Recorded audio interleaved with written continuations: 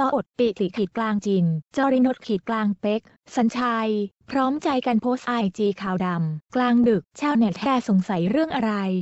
เรียกได้ว่าเป็นอีกหนึ่งความสงสัยของชาวโซเชียลที่เราเพื่อนร่วมแก๊งอย่างต๊อดปิติภิรมย์ภักดี จินจรินทร์ธรรม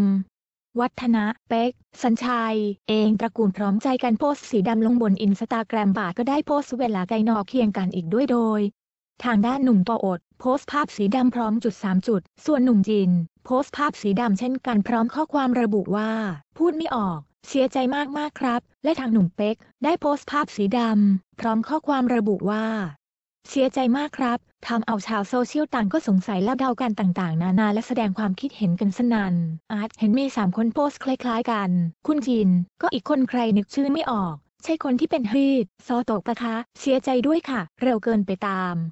ข่าวตั้งแต่เมื่อวาน เห็นข่าวคุณชนสวัสดิ์ใจหายมากอภิจิน คุณชนสวัสดิ์ใช่ไหมคะ เห็นคุณเอฟต่อกอ